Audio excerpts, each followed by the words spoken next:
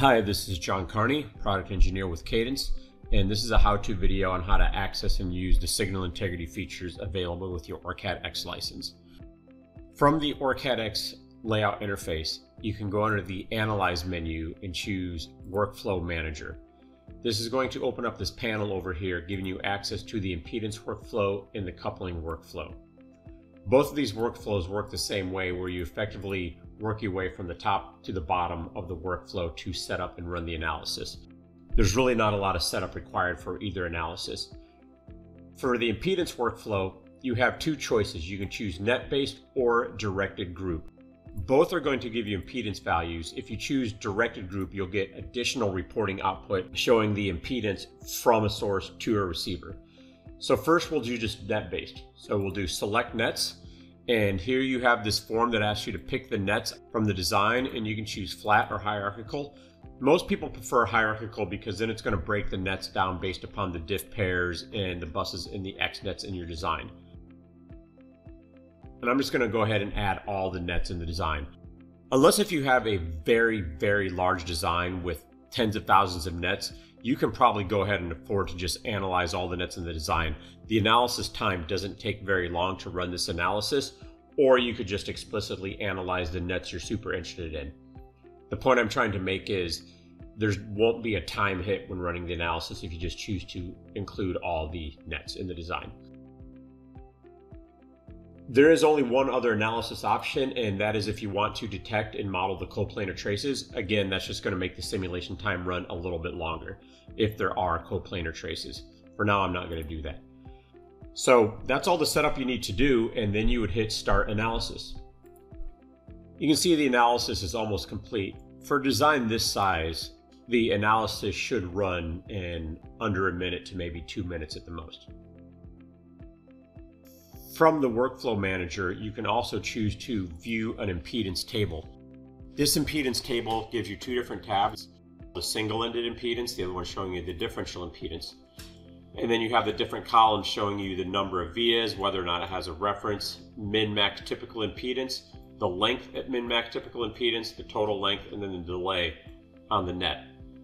The way users would typically work with this is you could sort by one of these impedance values. Let's say you could sort by max impedance value. And then you could find out, okay, this is the net that you want to work with. So if you select a net here, then the bottom half of the table is going to break that net down into its different segments. So you can see that net has different segments that have different impedance values at different lengths. And then you can click on one of these segments here and it's going to take you to that particular segment in the design. So you can really use this chart to really zero into the unusually high or low impedance values that you have in your design. And then as a designer, you can determine what you need to do to fix or resolve those things. And you can do that with differential pairs or with single ended as well to zero in on any impedance value segment that you find in your design that you may want to deal with. Now I'll show you how to use these directed groups to get an additional report. First, you can turn off the impedance visions by unchecking this box. So at any time you can check or uncheck that depending on what view you want to look at. To use directed groups, you can come up here and switch to directed group and then choose to select directed groups. So a directed group is effectively a setting up a from to or a driver and receiver relationship. For example, I'm going to say from this BGA driver to these two DIMM cards, and I'm going to create that directed group and then hit OK. Once that's done, we'll run the simulation again to simulate with these directed groups. Once the analysis is done, under view mode, you'll now have the option to choose to view results based upon net-based or from a directed group.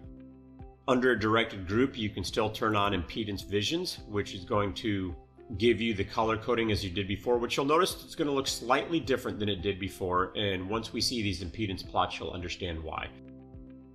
So if I open the impedance plots, I'm going to go ahead and drag this out and make this a uh, full screen window here.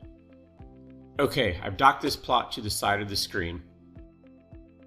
What this is now telling you is that it's telling you for every net in the design, for example, this net here, it has a characteristic impedance of this amount for this length, and then the impedance changes to a different value. And you can then see that for every net on the design. So it's almost like you took every net and just laid them flat on a board, and then from a starting point to an ending point, and then color coded the impedance values on them. So you can see this net has predominantly the same impedance value for most of it, but has very short impedance discontinuities. These nets here just have two complete different impedance values. It starts out at this value, then it changes to here. There's two impedance discontinuities on this net. So that's the bar expanded chart, or you can look at the scattered collapse chart, and this is the same data just presented another way, basically letting you know you have a whole bunch of nets that have characteristic impedance around 42 ohms. You have a few particular spots up here that are around the 70 ohm range. And then again, you can select these things and it'll then take you to that portion in the schematic that you can look at and find that particular portion in the schematic. So that's how you can use these additional plots that you get from setting up directed groups. Now we're going to switch from the impedance workflow to the coupling workflow. Coupling you can think about as sort of a precursor to crosstalk. It's not a full crosstalk analysis, but it's a lot faster to run and it's a lot less setup to doing a full crosstalk analysis. Walking down the setup workflow, again, you can choose whether you want to do it net-based or by directed groups. We'll go ahead and first do net-based. We'll select the nets, and again, we'll just select all the nets in the design. And then you have a few more additional analysis options. Now, since you're doing coupling, you can specify the rise time and the coupling coefficient in the geometry window to measure the coupling. With that set up, we'll start the analysis. Once the analysis is complete, you can then turn on your coupling visions to get an overlay of, in this case, we're showing the worst case. You can also switch between worst case and victim net. So then you can see which nets in the design are highly coupled, again, based upon this scale. It doesn't mean necessarily mean red is an error or blue is okay. It's just showing you the range of the coupling coefficient. And then you also have access to a coupling table where again you can find the segments that are the most coupled in the design, zoom in on that, and then figure out as a designer if you need to do anything to affect change on that situation or not.